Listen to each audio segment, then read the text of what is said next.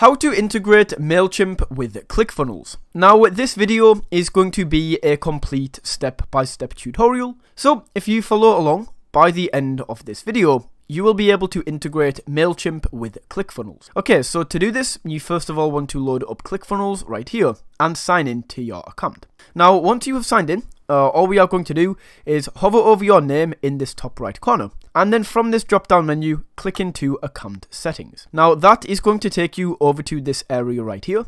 So click on integrations down this left hand side. And once this area loads up, we can click on add new integration in this top right corner. Now, this is going to show you all of the apps that we can currently integrate with ClickFunnels. So just scroll down until you find MailChimp and go ahead and click into this. It's then going to ask you for an integration nickname and an API key. So for the integration nickname, you can basically choose this yourself. So I'm just going to title this Mail MailChimp test. And then for the API key, guys, we actually need to go and find this or create this over on MailChimp. So to do this, just go ahead and sign in to your MailChimp account. And then from here, click on your profile icon in the bottom left corner. Once this dialog box opens up, click into Profile, and this is going to take you over to the Profile area. From here, we can click Extras on this top menu, and then from this drop-down menu, click into API Keys. Now, as you can see, this is going to take you over to the API Keys area, and if you scroll down, you may already have an API key that you can simply go ahead and copy,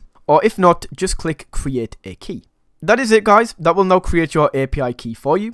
And then as you can see, it is listed right here. So all we have to do is copy this and then paste this into ClickFunnels.